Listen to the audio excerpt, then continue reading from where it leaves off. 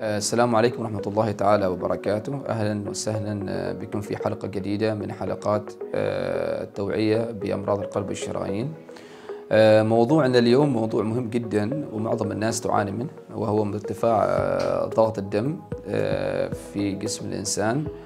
ارتفاع ضغط الدم في جسم الإنسان له أعراض مهمة جدا ونفس الشيء هو مرتبط أيضا بأمراض القلب والشرايين طبعا يؤدي إلى الصداع الشديد وأيضا أحيانا الغثيان أو الإغماء.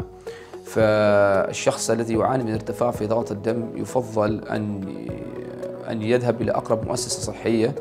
طبعا هذا ضغط الدم له علاقة أيضا بأمراض القلب والشرايين مع بقية الأمراض الأخرى مثل أمراض السكر والدهون والزيوت وأيضا العادات الصحية السيئة جدا اللي هي مثل شرب الكحوليات أو أنه التدخين.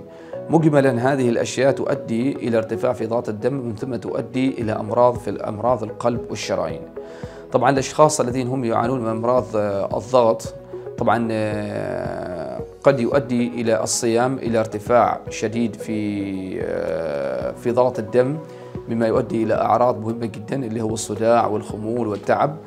فمثل هذا الأشخاص يجب عليهم أن لا يتوقفوا عن عن أخذ أدوية القلب عن أخذ أدوية الضغط ويجب عليهم مراجعة أقرب مؤسسة صحية بحيث أن يأخذوا الإجراءات اللازمة ويقومون بقياس الضغط عند هذا عند هذا الأشخاص.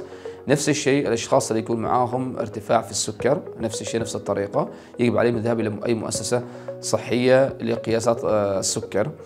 بالنسبة للزيوت والدهون يجب عليهم أيضا بالمحافظة على التغذية المتوازنة وشرب أدوية الدهون بانتظام.